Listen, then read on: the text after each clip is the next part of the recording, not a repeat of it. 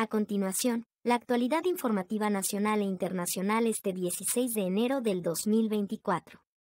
Más de 5.000 migrantes ingresaron a Honduras en la primera semana de enero.